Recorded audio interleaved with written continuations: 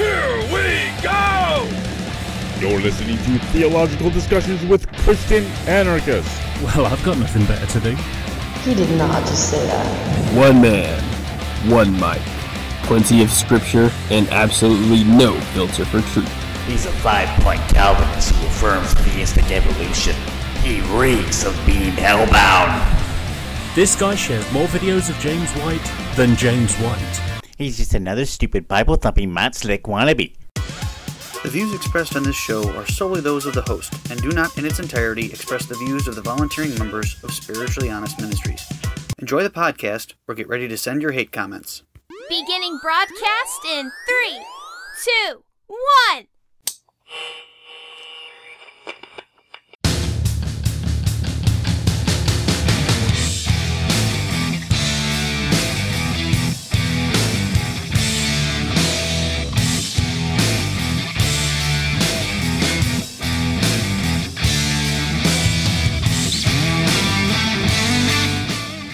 All right, all right, all right. This is Theological Discussion. I am your host, the Christian Anarchist. And with me uh, is a guest, of course. It's Theological Discussion, so we're going to have a discussion.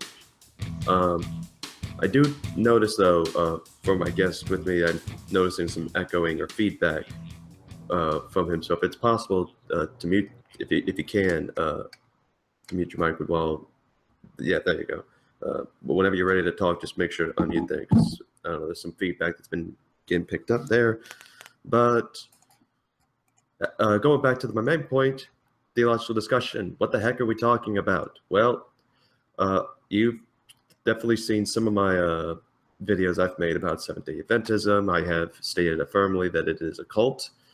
Um, it has unbiblical practices, and someone has noticed the videos uh, who wanted to get into contact about the, and discuss this issue. He um, was a former Seventh Day Adventist. I believe he stated he was a, a Seventh Day Adventist for about 24 years before he left it, and definitely has uh, a lot that he wants to men- mention about it and show in the same reason of what I do to show why Seventh Day Adventism is not uh, is just simply an unbiblical uh, thing. So enters Matthew if that's how you pronounce it, uh, with his work on that then. So, Matthew, uh, welcome to the show. Glad to be on. Glad to have you, man. So, tell so tell us about like your background on uh, being a former uh, SDA. Like, what? So you were 24 years. How was that? Well, I was born and raised Seventh Day Adventist. My whole life, I was with the with the movement. Mm-hmm. So it wasn't until I was about 17 years old that I started to to actually read Ellen White's materials. And it took me about seven years reading those works to finally realize that the stuff that she was teaching wasn't biblical whatsoever. Mm-hmm. And then basically everything that Ellen White teaches branches out to the rest of Adventism. So everything Adventism teaches that is unique comes from Ellen White, basically. Mm-hmm. So some of the unique ideas definitely just come straight from her. There, there's nowhere else that they would have gotten it from. Yeah, definitely. Mm-hmm. Uh, like what? What are some examples of one of these uh, particular teachings and ideas? Well, the most uh, the most famous one is investigative judgment. This doctrine um, has no biblical foundation whatsoever. It's a it's a doctrine basically that Ellen White heard from she was taught by an individual called O.R.L. Crosier. Mm-hmm.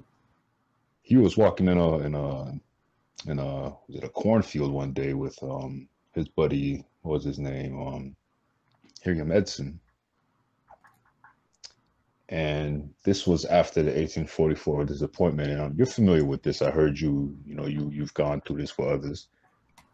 And after they figured out that their their doctrine, you know, Jesus didn't come back in 1844, they were in a state of depression, whatever. And then he claimed to have a vision from from God, saying that Jesus did not actually he wasn't going to return in 1844. But what he did was that he moved from the holy place to the most holy place. So when he got this revelation, he told Crosier. Crosier and him got down. They they studied it together And Crosier came up with the with the doctrine basically called an investigative judgment. He went out to go teach Ellen White and her husband at the time, James White. And from then on, the moment after he told her this, Ellen White supposedly had visions concerning this doctrine. And after she had the visions concerning this doctrine, she wrote it down in her books and she started teaching it to the church. So as soon as she hears about it, then she starts uh, getting visions and uh, professing and teaching it herself. Exactly. It's not just with the investigative judgment. She, she this this um this this the same um, pattern was shown. Basically, every doctrine that she heard from somebody else, the next day she had a dream or a vision trying to confirm it. Another one is the Sabbath. Um, Ellen White, or her husband, none of them knew anything about the Sabbath, but um, Joseph Bates, which was one of the founders of Adventism as well, got in contact with Seventh Day Baptists. And The Seventh Day Baptists were teaching um, him about the Sabbath. So they went in and told Ellen White about it. And Ellen White the next day had a vision confirming that the Sabbath was correct. And this vision is found in early writings. Um, I don't have the exact reference for me right now, but basically what it was that Ellen White went to, to heaven, mm-hmm. right? And she saw Jesus and the angels. And Jesus was guiding her through heaven. And then when Adventism with the with the sanctuary doctrine, there's the belief that there's a there's the veil that was in the tabernacle on earth that separated the holy from the most holy is still in heaven. Mm-hmm. So basically, Jesus was was walking Ellen White through the veils, and then they were in the first veil, the first apartment, as they call it, the holy place. And then he was showing them her around and everything, you know, giving her a tour. But then he opened the veil, and then they went into the most holy place, where they saw the Ark of the Covenant. And then Jesus Christ opened the, to Ellen White, Jesus Christ opened the um, the Ark of the Covenant, and the Ten Commandments shown. Well, here's the first mistake. Um, Ellen White said that Jesus had the Ark of the, I mean, the Ten Commandments held like a book. So nobody could see what was written inside of it. Basically saying that it was like a book that, but the Bible actually says in Exodus that the Ten Commandments, there was writings written on both sides of each of the tablets. So even if it was closed, you could still be able to see the writings outside of it. But according to Ellen White, it was closed like a book and there was no writings on the outside. What's going on? She said that when um, Jesus Christ opened up the tablets, she saw the Ten Commandments and they were glowing. But she saw that the fourth commandment had a halo over it. And she was basically saying that the fourth commandment was the greatest of the Ten Commandments. Greatest than the greater than the first, greater than the second. The fourth commandment was the greatest of all the Ten Commandments. So, that, so she has a. Is there a writing of this that people can go to and look up to get this vision that she procl- proclaims and professes? Yeah. Yeah. Yeah, like uh, do you have the exact? Uh, let me let me see. I, I have I have her notes. Let me see if um I have that direct exact one. Because mm-hmm. after this, I do want to get into because you mentioned the thing with Crosier. Mm-hmm. Um, and I remember that in A Word to the Little Flock, she recommended people to read a Daystar, the article of which that Crosier uh, wrote something in. Right. Which the investigative judgment was at. And there's a peculiar, interesting thing about this that I want to get into. But first, uh, just where people could possibly get access to the thing of where Ellen G. White is getting this idea that the Sabbath law keeping thing that this is one of the greatest commandments out of all of them. All right, one second here. Because because the the Adventists that I've talked to, they just say that the Ten Commandments are just the greatest in general. That they're all on the same level of being great. But apparently, with Ellen White, the Sabbath is even greater than some of the Ten Commandments. Right. Well, definitely. Ellen White teaches that the Sabbath is the greatest of them. Um, it's early writings, page thirty-three.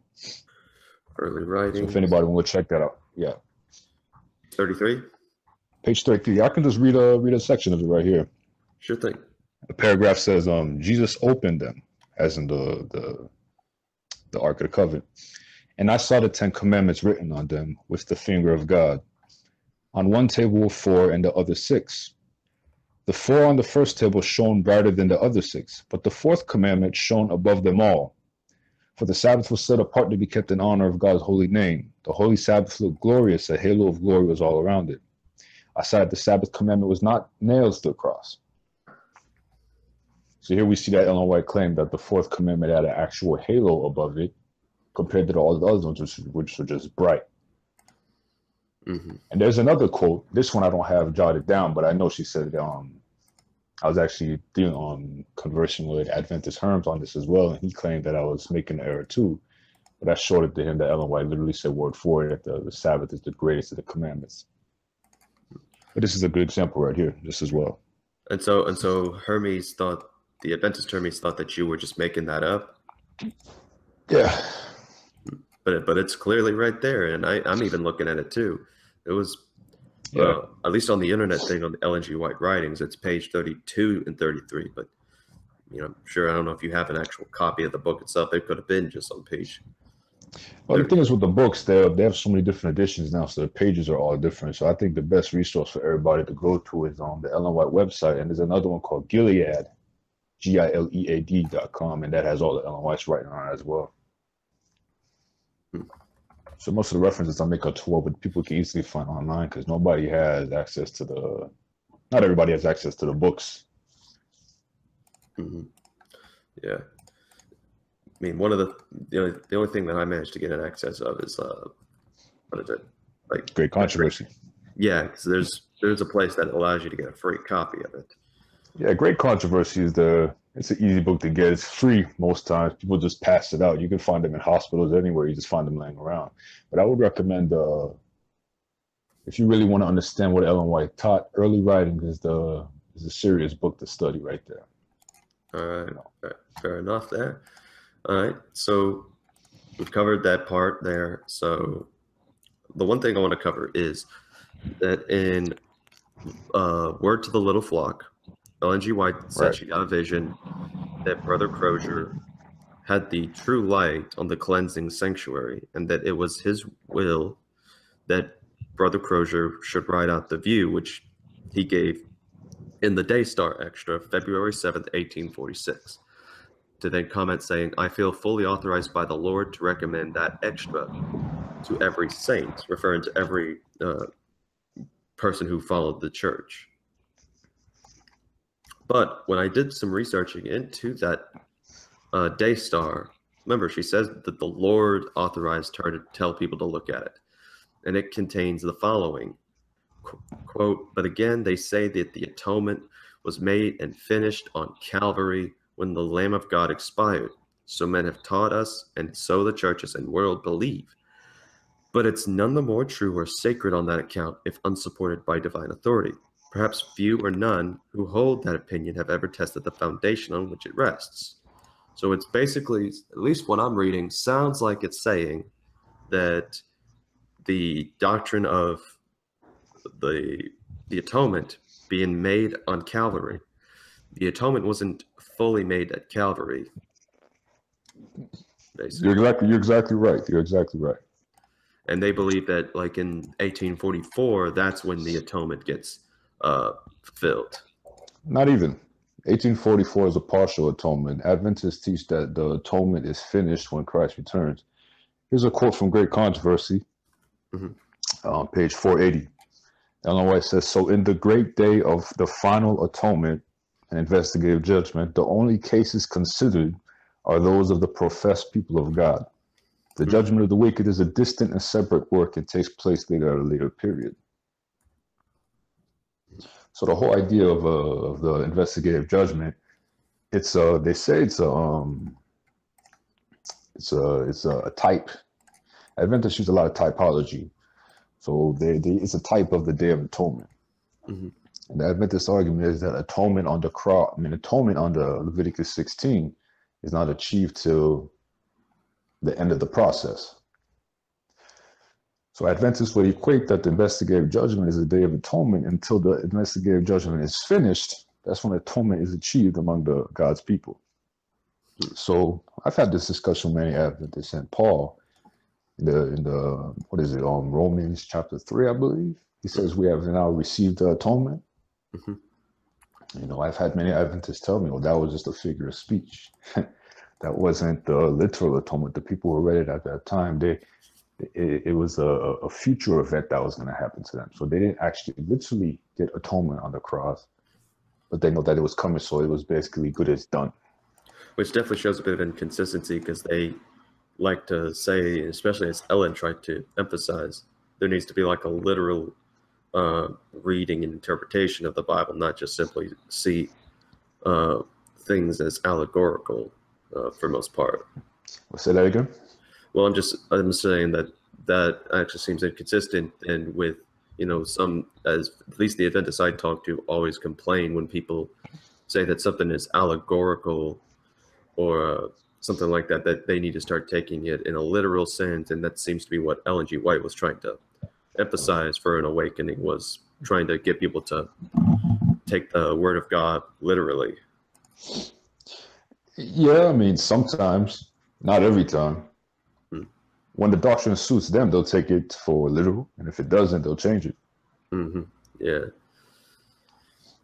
For instance, um, the the Adventist, um, I was actually watching a video, and after the study, King James only is actually stemmed from Adventist minister. Mm-hmm. So Adventists love the King James for obvious reasons. When you read Daniel chapter eight, their interpretation to the King James is what led them to this doctrine right now. Mm-hmm. It reads differently compared to the other newer translations. But for instance, the one of the main doctrines of the Adventists has been that Jesus Christ went from the holy to the most holy in 1844. But when one reads Dan, I mean, um, Hebrews chapter 10, verse 19 to 20, mm-hmm. it says that, let me put that scripture up real quick. Mm-hmm. I predominantly read from the ESV, but I'm going to quote this in the King James Version. All right. All right. By the way, thank you for like the stuff you're providing for us. This is definitely, um, I think this is a very important topic because a lot of oh, absolutely a lot of people like to say that there is that they're just Christian like all of us, but I mean they are really going against some of the teachings that the Bible does talk about, and that most of this is just Ellen G. White originated. Well, let me say this. You know, um, you know, me being at being Adventist for so long, you know, uh, I know the culture, and what what you will notice is that most Adventists, I would say about seventy percent, are really in the church for two reasons: Sabbath keeping and the dietary laws. Most Adventists don't really read what Ellen White's saying, stuff like that, but they will still defend her, but not a, not not from actual study, but just out of ignorance because they were told she's this and that. But there are some out there who claim that Ellen White should actually be part of the scriptures. There are those who claim Ellen White is a true prophet. There are those who claim Ellen White's words are infallible. These are the individuals that I would consider heretical. Right. Because their teachings go directly against the scriptures. And they're, they're all throughout YouTube. You can find them everywhere. You know, these are the people that need to be warned about. These are the people that go out proselytizing other Christians. Because Adventists don't really, they don't really um, go out to convert atheists and these type of people. They actually go for those who are in other churches because they believe that their doctrine is uh is that Sunday churches, as they call them, um, the daughters of Babylon. These are the ones that Adventists their mission. One of the three angels' message is to go out and to call people out of Babylon, so to call the people out of the Sunday churches. So their main audience that they're trying to convert to Adventism are Sunday keepers. Mm-hmm. So I think um, our churches need to um, equip their members with the knowledge of, um, of what Adventists teach, instead of going around as you just said, oh, they're just they're they're evangelicals just as we are. No, not necessarily. Mm-hmm. Yeah, because I mean, they, I mean that's the same thing they do with the uh, Mormons and Jehovah's Witnesses. Well, not right. necessarily so Jehovah's Witnesses. They immediately they have issues with us, but like Mormons will say we're no different than y'all as Christians and such. That that was my experience when I was talking with a few Mormons. Right. Um, but when we start going over, you know, what are the fundamental uh, ideas that is exclusive to Mormonism as well as what we see in SDA, I mean, it's clearly uh, contradicting the Word of God. And as you and as you stated, there are people that like uh, argue uh, whether or not she could, should be considered Scripture. And a guy named Robert Olson, who was a former SDA leader and director of the White Estate, uh, mm-hmm. in in a book called What Ellen White Has Meant to Me, which was like a collection of testimonies from other SDAs. Uh, he basically says that he believes that Ellen G. White and the Apostle Paul were true prophets and were under the influence of the Holy Spirit. That he believes one, uh, and the inspiration of one of them is identical with the reasoning for the other, meaning that they were both inspired on the same exact level and that their writings were of divine origin. Yep. So the def definitely I mean that's there's plenty of SDAs, especially in the leadership positions, that view them as inspired people. Yeah, yeah. And the thing is, um, when you ask most Adventists, they'll tell you that Ellen White said, "Oh, I was never a prophet," or "Ellen White was never a prophet," but that that's not true. Ellen White in her writings make it clear that she is a prophet. She says, um, if anybody disagrees with the testimony, they don't disagree with my words, they are disagreeing with God's words. So she equated her own testimonies to God's words. In Hebrews chapter 1, verse 1, um, uh, I'm paraphrasing here, but it said that um, in the days of old that Jesus, God spoke to his prophets, but now he speaks to us through his son. Ellen White says in one of her writings, I have the I have the reference. Let me get it real quick. Mhm. Just give me a second here. I have so much Ellen White references, you know. Yeah, I, I, I got like what is it, 38 pages of notes that I Yeah. took on the trying to cover because I think there are three issues ultimately that separate us with between them and us as Christians, evangelicals. That is their heavy emphasis on the Sabbath, their investigative judgment and sanctuary doctrine, as well as the position they put Ellen G. White in Right. because and, and I don't know, maybe you could elaborate more on this. I don't because there at times they say, well, I mean, she's written so many prophecies of things that come true. So, on, on, how can you deny that she's inspired by God as a prophet? Right, right. So that they, they, yeah, that's a common claim among Adventists. I used to say it myself. Ellen White made many prophets, prophecies that came true, but in reality, she made no prophecies that came true. Hmm. One famous one is that she made a, a prophecy about some some some building burning in New York, and something Ah. like that. Yeah, the You one know- that said about 9 11 or something. Yeah, yeah, yeah. But one close examination of the prophecy has nothing to do with 9/11. Even herself, it's it's it's documented that this was a fire that happened um, in in, in the early the early early 1900s. I'm not exactly the I'm not sure the exact date, but you So know, she was saying this building that was on fire was something that already happened. yeah, yeah. She she had that she she made that prophecy the day after it happened, basically. Wow. Yeah. But she makes other prophecies as well. Hmm. You know, she's famous for making basically a lot of her writing is it was rather clear that she expected Jesus Christ to return in her lifetime, without a shadow of a doubt. Oh yeah, definitely. It, it was stated there that she believed that it was coming soon before she would pass away. Yeah. Yeah, yeah. And in other prophecies, she says that um, this one I don't have the um, the reference, but I can share it at a later time. You know, but basically what she was saying in this one is that, and you know, people could look this up online. You know, just type what I'm saying. Basically, she was sitting at one of her camp meetings speaking to her her her her, um the, the leaders of the church, and she said that she was struck with vision, and this was in um, what 1860 something. She was struck with vision and she said that the Lord just showed me that some of you right here will be food for worms, and you will not be part of the the the it's the Christ's second coming. When he comes, you guys will not be with us. But she also said that some of you guys standing here will never see death. So basically, she she she she, she in that vision, she was saying that Christ was coming in her lifetime, and that some of the people that she was speaking to that day would not experience the first death. They would they would ascend to heaven with Christ. And Adventists believe that um, uh, the soul sleep. You know, I'm sure you're familiar with that. That once um, once one dies, they don't go to heaven. They just lay in the dirt. But this doctrine comes from the investigative judgment. Because the investigative judgment teaches that after 1844, there's a time that God will start to judge the living. And you don't know when your name will come up.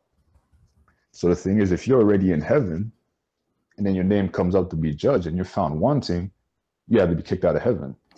So this is why Adventism believes in the soul sleep doctrine because it fits with the investigative judgment. Mm-hmm. Right. So she did say, yeah, that there are people that would be food for worms and such. That Oh, they, so you're familiar with this? Well, I just tried to take a look at it as well. I mean, I think I've heard of that before, and I think there's actually Yeah. others other par- parts where she goes on about this as well. Right. But yeah, I mean, uh, from what I'm looking at, it seems to say Ellen G. White, uh, one testimonies, page 131 through 132 says May 27th, 1856. Mhm. Um, so yeah, I mean that's and that's just one of them. I'm trying to remember the one that I uh, heard of because I know there's one that uh, actually comes from another source, and It- Is it the one that, that goes something like this? Um, we we have just a few months what the children would learn, or something like that. yeah, that's the that's the one I'm thinking of. Yeah, yeah, yeah. because she said that what uh, they, the church, had learned for years, the some of the be a few people months. need to learn for months. Yes, that they had uh, a time limit of months in order to learn this stuff. Right, which is clearly showing that she thought Jesus was coming at that time. Yeah, here it is. In a few in a view given in 1850, my accompanying angel said the time is almost finished. Uh, get ready, get ready, get ready. I saw that there was a great work to do for them, and but little time in which to do it. Then I saw the seven last plagues were soon to be poured out upon these who have no shelter. Early writings, uh, page 64, and then in page 67 says, Now the time is almost finished, and what we have been years learning, they, the people they witness to, will have to learn in a few months. They will Exactly. also have much to unlearn and much to learn again. I mean, you can't get more clear than that. She she clearly believed that Jesus was coming before she died. Well, Ellen White's been dead now for over hundred years, so she was clearly wrong with that. Exactly. Like, like know. when was she around? Because I know she was like Civil War era. Was Civil War era, yeah. She died, I believe, nineteen. Don't quote me, but it was nineteen fourteen, I believe, around that okay. area. I'm taking a look on it right now. Yeah, it was. You were close. 1915. 1915, one year apart. Okay, Yeah, yeah, and she was born in 1827. right. Yeah. Yeah. So And that during that time, the the eighteen hundreds, there was a lot of um a lot of Christians were thinking Christ was coming because of the Civil War era and these type of things. So it wasn't just Adventism. You know, we all know that many cults, you know, sprung up in the eighteen hundreds. In Mhm. fact, the Jehovah's Witnesses came from the Adventist movement. I'm, I don't know if you're familiar with that. yeah, I'm. I am. They because they both Yeah. uh, claim like to go off of uh, uh, what the guy that made the 18 William Miller. Yeah, William Miller, the 1843 thing. They basically go off of his whole prophecy and teachings ideas. Right. So yeah, and and that's interesting too when you think about it, because it shows they're not the only ones that share the same uh, origins. Like they both have a lot of things in common in regards to their origin. They just have slight differences in doctrine. Well, there's a funny there's a funny theory going around with some some people that um because Joseph Smith died in 1844. Mhm. So a lot of people are saying now that Joseph Smith's spirit jumped to Ellen White because 1844 is when she got her first vision. I don't know if that's true or not. You know, that's maybe going a little too far, but that's just a little interesting thing right there. hmm Yeah. But um, let me go back to the Hebrews 10, Mhm. right? Right. Hebrews 10, verses 19. This is the King James Version saying, Having therefore, brethren, boldness to enter into the holiest by the blood of Jesus, by a new and living way which he hath consecrated for us through the veil that is to say, his flesh. So these two verses right here basically destroy the whole investigative judgment doctrine. Mhm. Why? Investigative judgment teaches that in 1844, that is when Jesus crossed from the holy to the most holy. We know that the tabernacle of Leviticus, Leviticus 16 had a veil that separated from the holy to the most holy. The most holy place represented God's presence, which only the high priest could enter once a year. And the holy place was where the priests were doing their work of sacrifices throughout the whole year. For Ellen White to say that in 1844, 108 1800 years after Christ, when the book of Hebrews was written before the destruction of the temple in 70 AD, why is it that Paul here is saying that now we have access to the holiest of all? Mm-hmm. Right? So if, if, if, Jesus couldn't go there until 1844, why can the Christians in this time enter the holiest place? Mhm. Well, you notice that the King James here says holiest of all. The newer translations, um, like the ESV, um, what does it say? It doesn't say holiest of all. It says it's um. See, Adventists like to play with words with a lot of a lot of doctrine, you know. The He says, which which part of this? Because I got the ESV as well on my. Right, so- verse 19. Therefore, brothers, since we have confidence to enter the holy places, right? Uh-huh. So the King James says holiest. So the King James is really clear what it says. And remember, Adventists love the King James. But when it comes to stuff that conflicts with their doctrine, they're quick to throw away the King James and jump with another doctrine or try to go and, and, and mess with the Greek to try to bring up their doctrine. Right. But the actual Greek here word here is um hagion, hagios, or something like that. I forgot the exact pronunciation of it. But basically, the, the the writers of Hebrews was correct. Christ went into the holiest of all after his ascension. hmm It didn't take till 100, 1,800 years later to enter the, the this this area. We also have Hebrews 16, 19 to 20. Hebrews sixteen. Six, He- Hebrews 6, excuse me. Uh, about to say, I didn't see a sixteen. Yeah, there- there's no, yeah, yeah, my bad. Hebrews 6, 19, and 20 says, We have this as a sure and steadfast anchor of the soul, a hope that enters into the inner place behind the curtain where Jesus has gone, past tense, as a foreigner on our behalf, having become a high priest forever after the order of Melchizedek. So this is the second time in the book of Hebrews that it is said specifically that Jesus went behind the veil into the Holy of Holies. So the question Adventists have to ask themselves, who's correct, Ellen White or the writer of Hebrews? Now, many Exactly. Adventists, right, the many Adventists, the argument they'll bring up here for Hebrews chapter 6 is that no, no, no, no. The veil that it's talking about is the actual tent, the, the entrance to the tent, right? So the entrance to the tent, of course, when you enter the door, bring you to the holy place. That's the argument they use, mm-hmm. which is kind of a nonsense argument because at this time there was no tent in Israel. It was a, a temple. So it wouldn't be a tent they would be going through to get to the first apartment. It would be a, a, a, a, a literal building made out of bricks. Mhm. So you know, these are just just so many scriptures that that prove this wrong. You know, Jesus was sitting at the right hand of the Father. You know, where else is the Father located but the Holy of Holies? You know, so how can Jesus not be in the Holy of Holies before 1844? You know, And then there's the thing that was mentioned in, I believe you mentioned was Hebrews 10, where talking about uh, the curtain being Jesus's flesh, exactly. or through his flesh. Yeah, yeah. How could Jesus Christ in 1844 go through himself? If the veil in Hebrews chapter 10, the veil in the in the Old Testament, you know, we know that these things were shadows of things to come. Mhm. The veil pointed to Christ the whole time. So if the veil represented Christ, how did Christ go through himself into 1844? See, the thing is, Ellen White didn't understand these things. Ellen White just literally took what other people told her, had a vision the next day, wrote it down on paper, and people believed it. There was a lot of ignorance going on at the Adventist church. Now, here's a here's a here's a um a quote from Ellen White. And I think this is one of the most heretical things she said. This is found in um this is found in um where is it? Okay, this is found in early writings, page 55, 56. Now Ellen White says, I saw the Father rise from the throne. This is a vision that she had of the, the, the holy place. Mhm. She said, I saw the Father rise from the throne and in a flaming chariot go into the Holy of Holies within the veil and sit down. Then Jesus rose up from the throne, and the host and the most of those who were bowed down arose with him.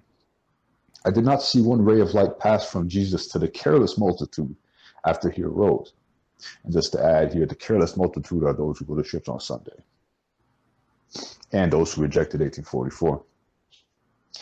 Continuing, she says, and they were left in perfect darkness. Those who arose when Jesus did kept their eyes fixed on him as he left the throne and led them out a little way. Then he raised his right arm, and we heard his lovely voice saying, Wait here. I am mm-hmm. going to my Father to receive the kingdom. Keep your garments spotless, and a little while I will return from the wedding and receive you to myself. Then a cloudy chariot with wheels like flaming fire, surrounded by angels, came to where Jesus was. He stepped into the chariot and was borne to the holiest where the Father sat. There I beheld Jesus, a great high priest, standing before the Father. On the hem of his garment was a bell and a pomegranate. Uh, a bell and a pomegranate. Those who rose up with Jesus would send up their faith to him in the holiest and pray, My Father, give us thy spirit. Then Jesus would breathe upon them the Holy Ghost, and that breath was light, power, and much love, joy, and peace. Now, here Ellen White is going to speak of those who did not accept 1844, those who do not accept the Sabbath. She said, I turned to look at the company who were still bowed down before the throne. They did not know that Jesus had left it. Satan appeared to be by the throne, trying to carry on the work of God. I saw them look up to the throne and pray, Father, give us thy spirit. But Satan would then breathe upon them an unholy influence. In it there was light and much power, but no sweet love, joy, and peace. Satan's ob- object was to keep them deceived and to draw back and deceive God's children. Mm-hmm. And again, that's early writings, page 55 and page 56. So basically, the issue here is that now Ellen White is saying that Jesus and the Father were in the holy place. Mm-hmm. That's a theological disaster right there because the holy place literally just meant that it was holy because it wasn't the most holy because the Father was in the most holy. So how can G- how can the Father be in the holy place? It doesn't make any sense. Right. So one of the other things I wanted to go over is in regards to you know to the prophecy they make the connection with Daniel eight, and you know mm-hmm. that's where the whole basis of it goes is the right. specific verse that says, you know, unto two thousand three hundred days, then shall the sanctuary be cleansed. Um, and they make the connection there. Uh, how do you uh, go about um, this passage in in regards as now compared to what they did? Well, the biggest thing um, with me when I was in Adventist, I was always told that the Apocrypha was evil, basically, I should never read it. Mm-hmm. So I never heard of the Book of Maccabees. well, I've heard of it, but I always always told it was wrong.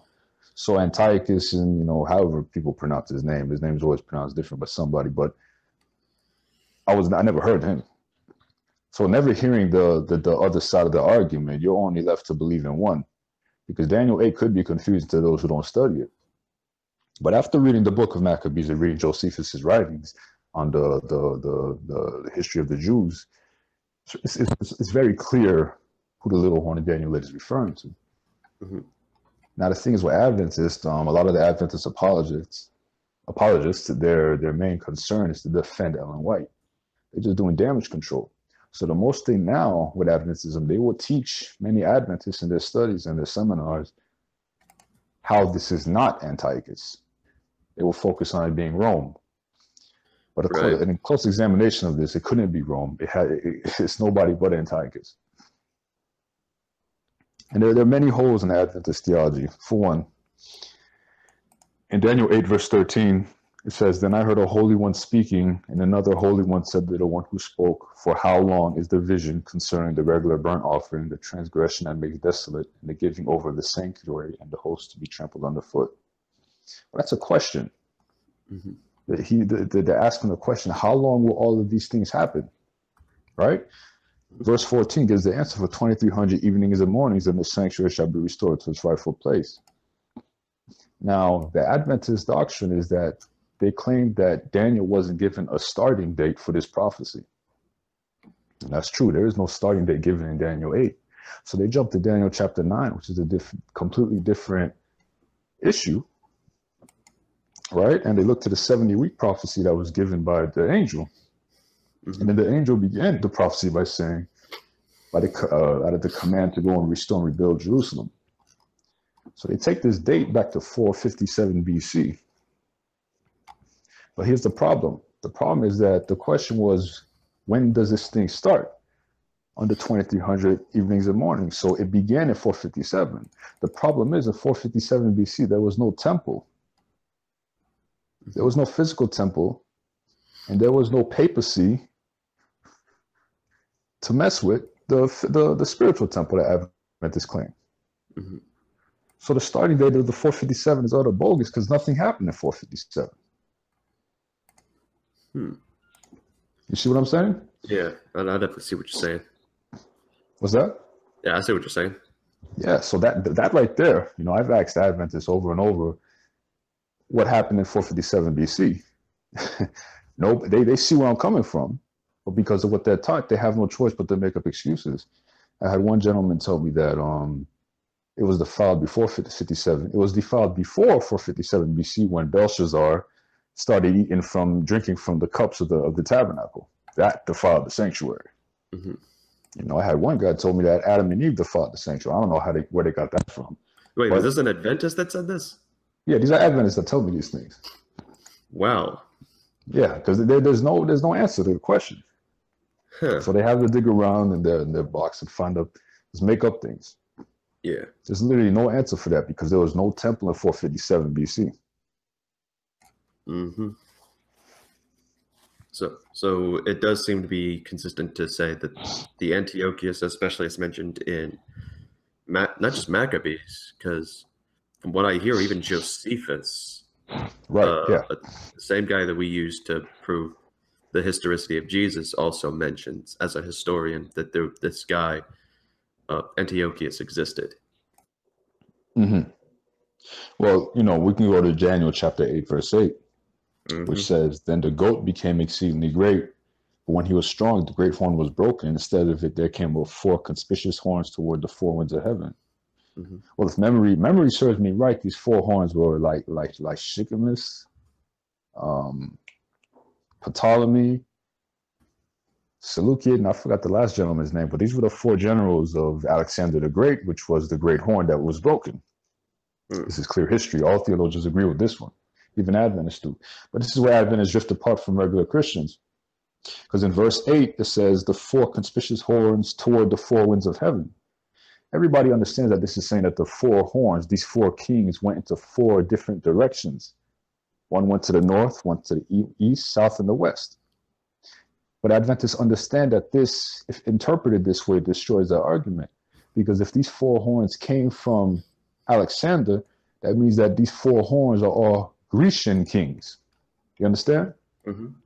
So for them to be four Grecian kings, there's no way possible that Rome can be the little horn. Mm. Because Rome doesn't come out of Greece, Rome comes out of Italy, which is far to the west. Right? So what the Adventist scholars say is that it uh, instead of it there came up four conspicuous horns towards the four wind of heaven. Now verse 9 it says, and out of one of them came a little well, anybody who reads this know that when it says out of one of them, it's talking about out of one of the four horns, correct? Mhm. Adventists have no choice but to say it doesn't say out of one of the horns it comes out of, but it comes out of one of the four winds. And one of the four winds is the west. So they completely negate the fact that it says that it came out of one of the four horns, but they interpret it to say that it came out of one of the four winds. Mm. Because if they admit it came out of one of the four horns, there's no way it can be wrong. hmm Absolutely. So And every Adventist says this, you know, they have no choice because the moment they say it came out of the four winds, they stuck. They stuck. They are, yeah. So let's go over some Ellen G. White uh, quotes because I think, I mean, in regards to like Sabbath, we know that.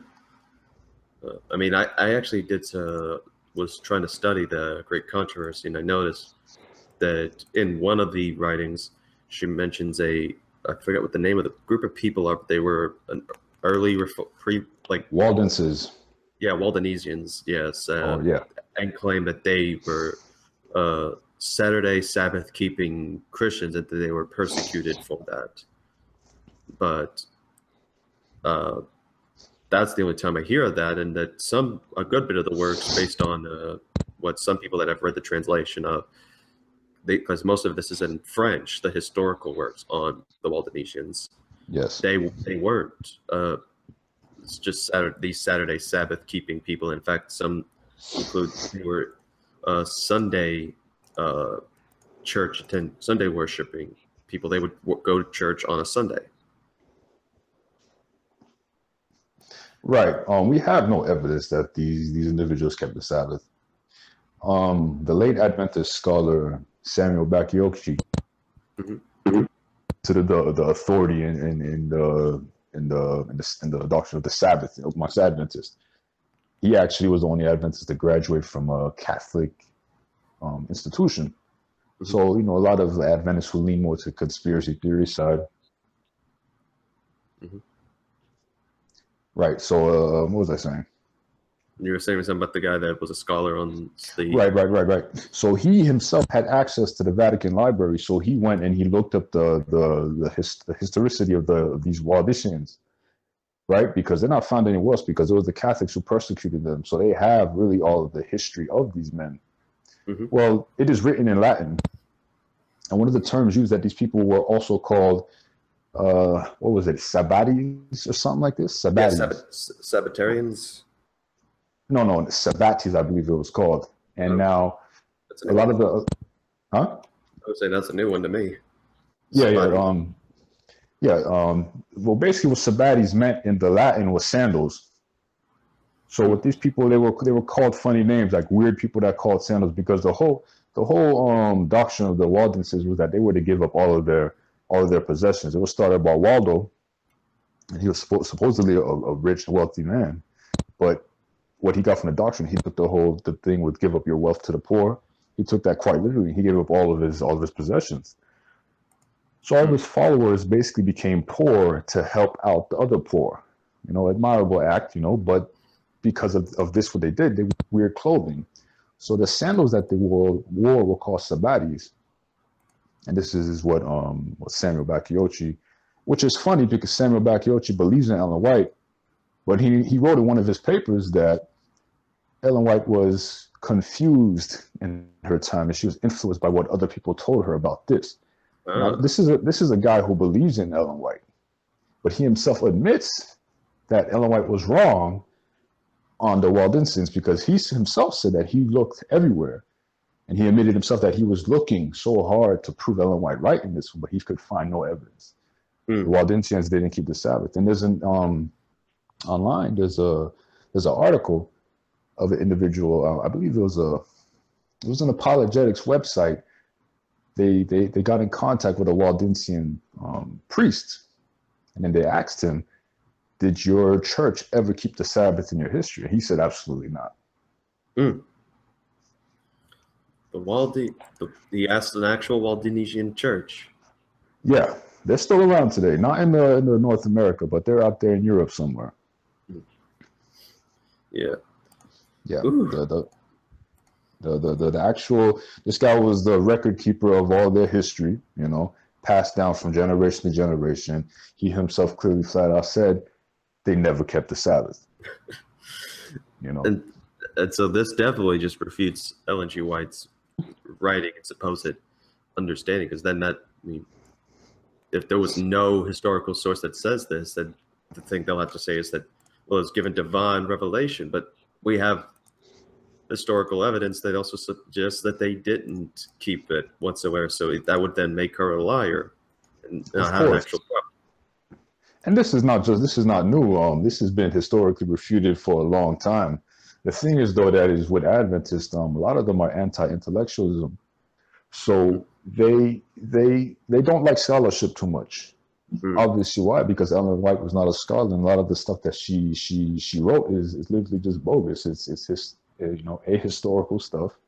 You know, Yeah, I tend, I tend to notice stuff. more emotionalism in it. Like they, very um, much. Yes, Yeah, as soon as you start going to like the Greek or the Hebrew or the scholarship behind something or commentaries, they're like, we don't lean to the wisdom of man, we lean towards the wisdom of God. And Ellen G. White was Jesus. Jesus Christ chose 12 disciples and none of them were scholars and stuff like that. Yeah, that's the Yeah. argument that you get, which is which is a bad, it's it's, it's, an embarrassing standpoint to be in because, know, God gave us a, a, great mind. We need to use that mind, you know.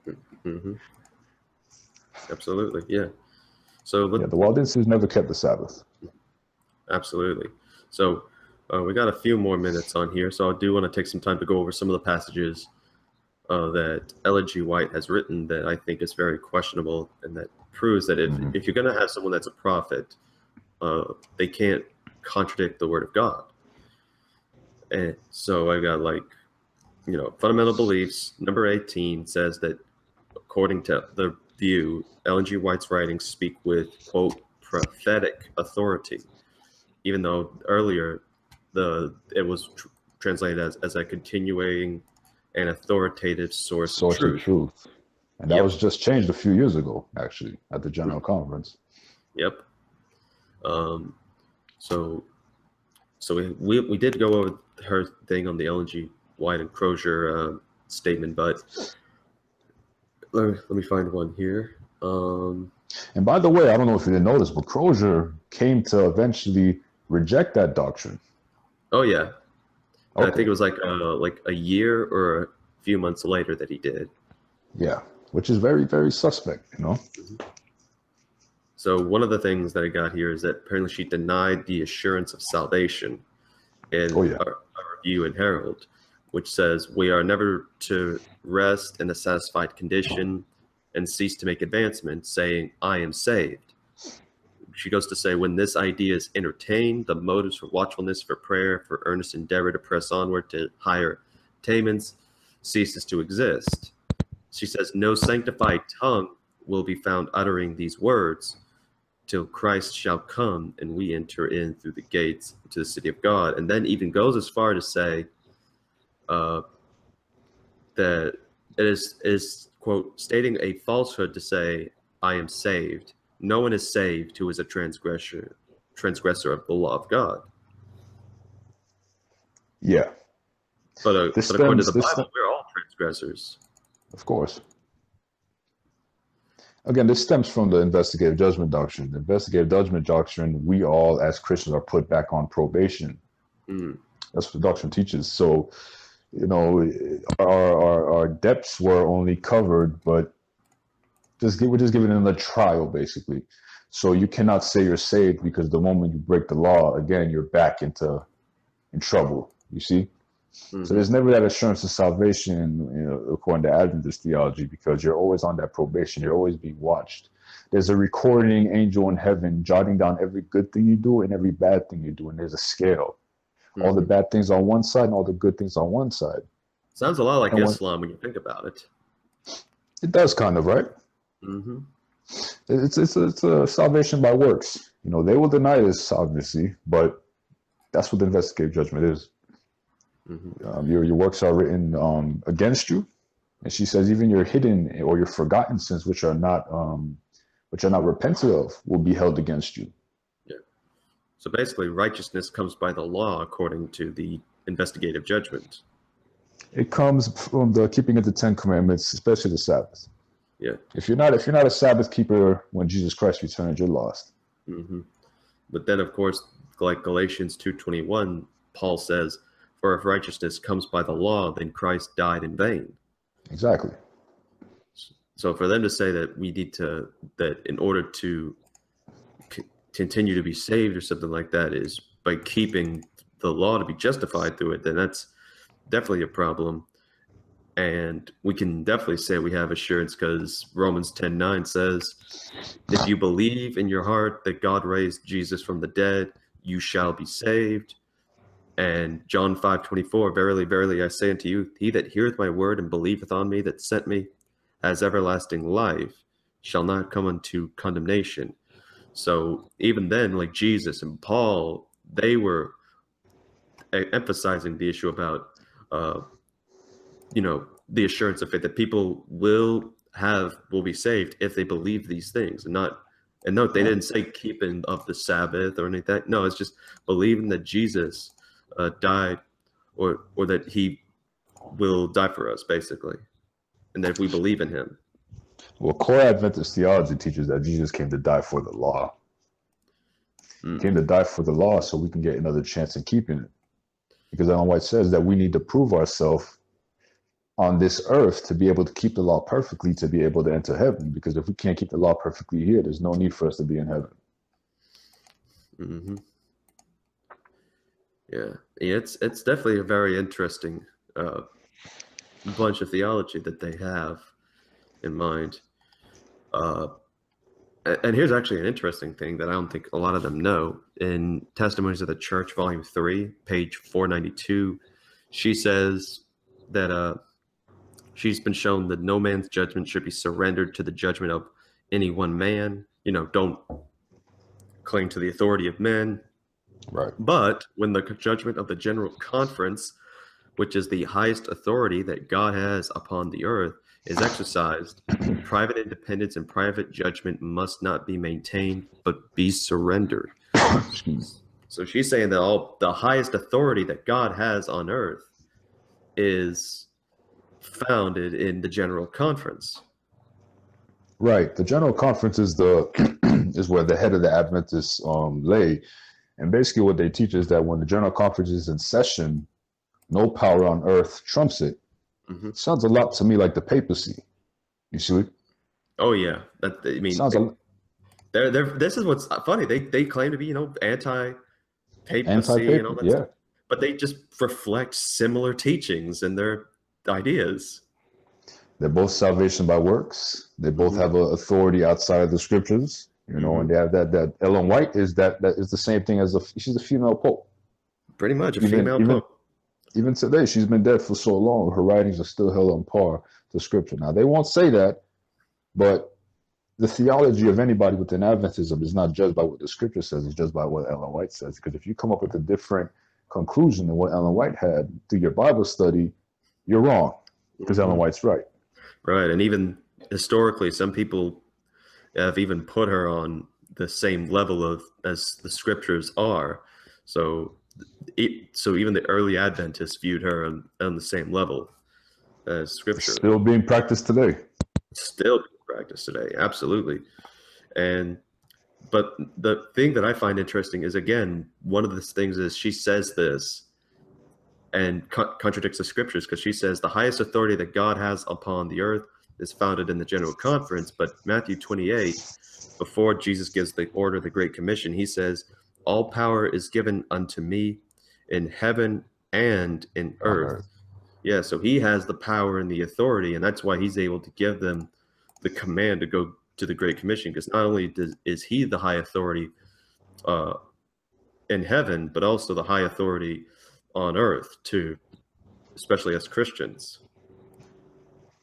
right in the new testament the the the positions that are given in the church the highest is the is the bishop or the pastor whatever you would say You know, hmm. there's not there's none higher than that besides Christ. After that comes the Christ. So the whole with the general conference, these are all man-made ideas. These are not scriptural whatsoever.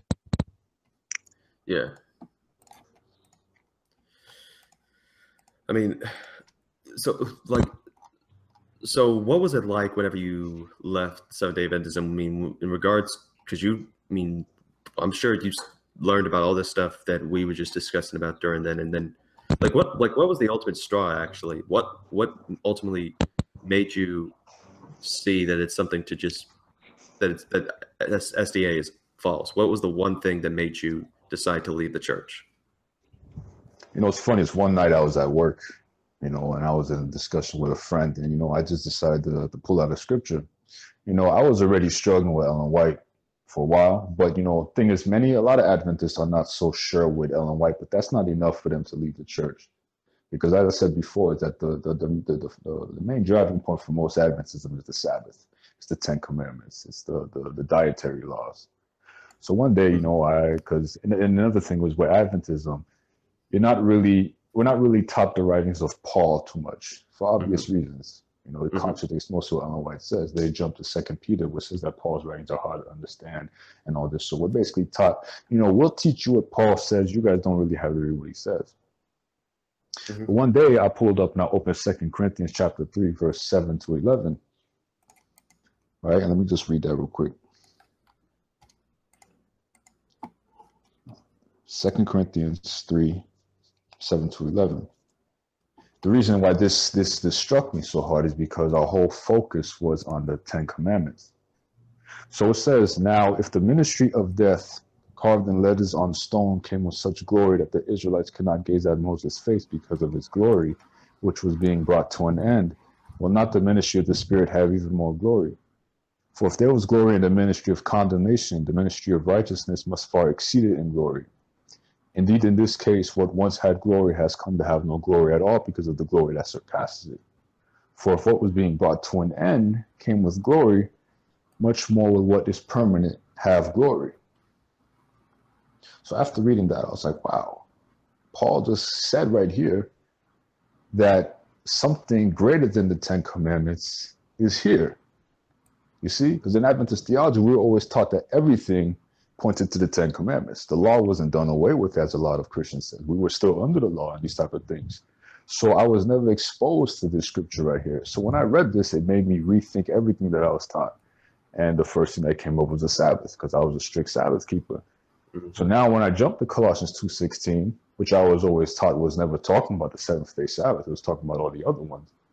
And now I can correlate it with Second Corinthians 3. I can see why Christians say now that we're not under the Sabbath anymore. You see? Mm-hmm. So that was really the that was the dagger right there. You know, from that moment on, you know, I just just started reading more Paul's Paul's letters. I went to church history, to some of the early church fathers, what they said about the Sabbath and these type of things, you know, stuff that I wasn't taught in the church. So these things broke my confidence with that Adventist church. I felt like I was being lied to a lot of information was being withheld from me, you know. And from that, from that, that's that's where I came to where I am now. Well, definitely glad to have you in where you are now, brother, because that's I appreciate it. I mean, that testimony right there, because it's the Bible that led you out of it. You just read what the scripture said, and it's it's right there about what the Ten Command, what the position of the Ten Commandments is in regards to yeah. the New Testament. Exactly. I can tell you for a fact, most Adventists never read that scripture before.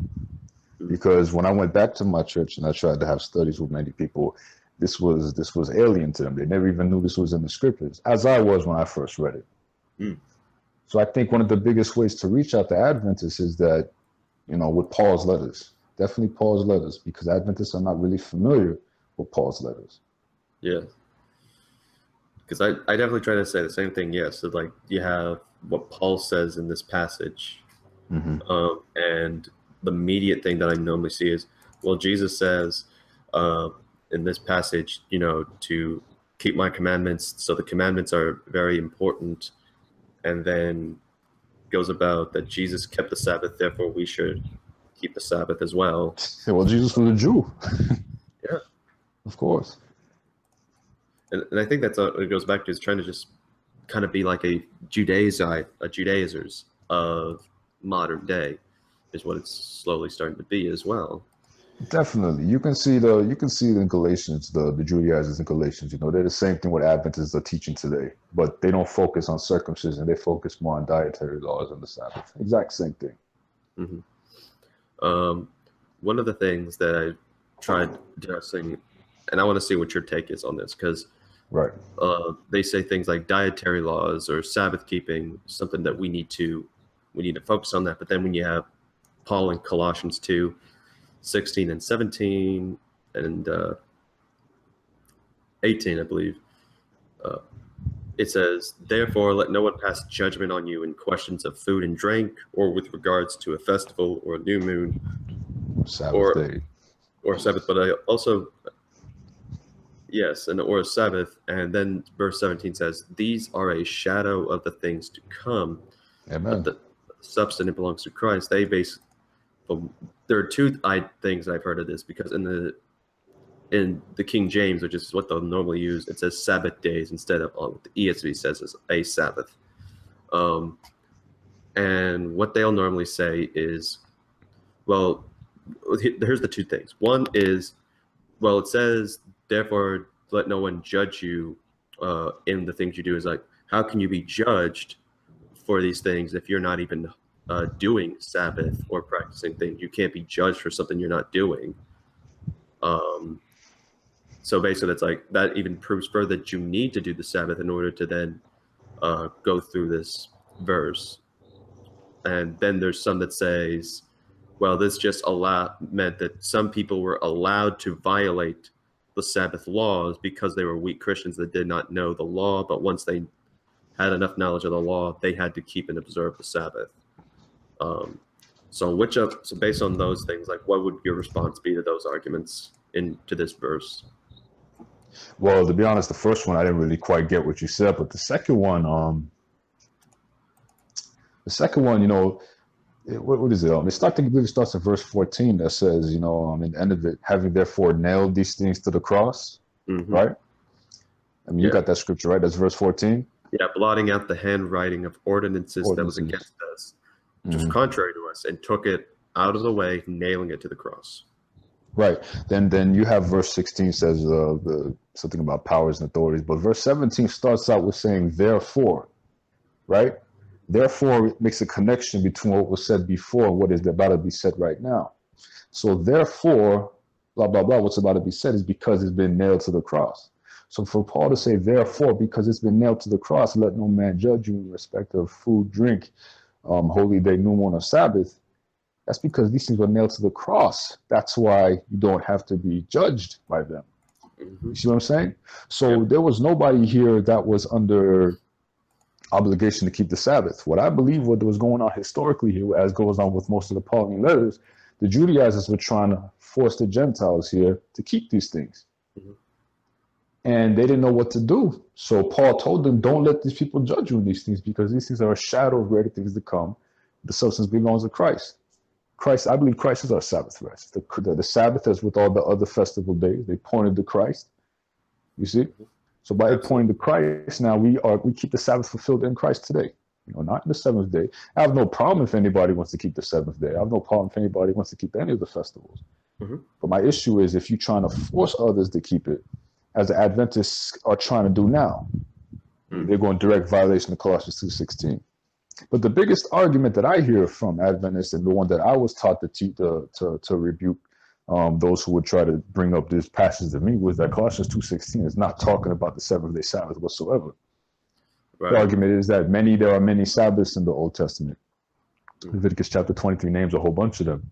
So I was always taught that the Sabbath in Colossians 2.16 is not talking about the seventh day Sabbath, but it's talking about the other ones. But that's a fallacious argument as well, because Paul starts out by saying, let no man judge you in a festival. Right? Mhm. the holy day. These holy days covered all the Sabbaths already. So basically, Adventists are saying basically that Paul's saying, "Let no man judge you in holy day, new moon, and holy day." You see, it doesn't make any sense. But Paul is going down in a chronological order. Festivals, these things happened once a year. The new moons happened every month, and the Sabbath happened every week. It's very clear. Mm. That's the biggest argument you'll get with Colossians two sixteen is that it's, it's just not talking about the Sabbath. Yeah. Mm-hmm. Amen. They- It's bad exegesis, man. It's and it, you know, it's it's the church. yeah. Yeah. So what? No, what were you saying? No, I was saying it's bad exegesis. These the the individuals they don't care what the Greek says. Even the Greek word sabbaton used in this passage, it, it literally means seventh day. You know, there, there's no way around this. Oh You know, yeah. but the Adventists, like I said, there's a lot of anti-intellectualism within the church, so they don't care what the Greek says. You can tell them, what does the Greek say? Oh, I, I don't care what the Greek says. Why need to study the Greek? I have the King James Bible, you know. And uh, you know, there's another inconsistency there because Adventists, like I told you before, that they they they love the King James, but they'll drop it when it suits their need. We see that in the King James it says Sabbath days, and that word days is italicized. We know that this because it wasn't in the original Greek Right. the thing is they will accept that when you go back to daniel chapter 8 and the word sacrifices when it says um, the daily sacrifices that word sacrifices is also italicized it's also italicized. But they will be the first people to tell you oh that word is italicized so it's not in the original. So the 2300s were not actual sacrifices they were actually years. So you see there's a very big inconsistency here because they'll accept the italicized in daniel. I mean, they'll reject it in Daniel, but they'll accept it in Colossians 2.16 because it fits their doctrine. Mm-hmm. Yep. And that's all it boils down to inconsistency. And I didn't think about that either. I mean, the King James has it italicized and it's known. If it's not italicized, not part of the original, which mentions then we're reading it like that, that says, or of the Sabbath. Exactly. No plurality, just of the Sabbath. Because it's plural in the King James, it's talking about all the other Sabbaths. It can't be talking about the Sabbath, the Sabbath of the Lord, the fourth commandment. Mm-hmm. Yeah. So, I guess for the time for our time that we're going to wrap up here, um, what if you were to um, come across a Seventh Day Adventist and you because I know people are going to have a different approach to the gospel message, especially if we're trying to relay it to a specific audience. Mm-hmm. How would you relay the gospel message for our Seventh day Adventist neighbors out there that need to hear of the gospel? Well, the first thing I would do with the atonement with Adventists, because that, that is the good news, the atonement, you know, what Christ did first on the cross. Mm-hmm. Adventist view of the atonement is a is a is a is a delusional one. You know, the, the investigative judgment strikes a lot of fear in the hearts of Adventists. It, it struck fear in me, not knowing if I'll be saved, not knowing that I'll be good enough. You know, like you said, it's like Islam. I don't know if I'm good enough when God returns. I don't know if I will be saved. I just got to rely on my my good Sabbath keeping and these type of law keeping. You know, if I did good enough, the recording angel, you know, he, he put a check mark by my name and I'll enter to the gates but you were never given that assurance. To give the Adventists assurance of their salvation, I think is one of the greatest, greatest tools in, in, in you know, um, in showing them what the true gospel is, because they, they they're not taught they're not taught these things. So I, I, I would focus on the atonement with them. I wouldn't jump to the Sabbath. I wouldn't jump to Ellen White, and I wouldn't jump to the the dietary laws just that yet because that brings a lot of emotion with them. And if you jump to those at first, they will likely shut you down and they will, you know, consider you a pagan Babylonian or whatever, a Sunday keeper, because these things are very, very, very emotional to them, very close to them, you know, but they're not too familiar with the atonement doctrine. So if you were to explain to them how the atonement really plays out in the Gospels, I think that would open them up to further dialogue. Hmm. Right on, right on.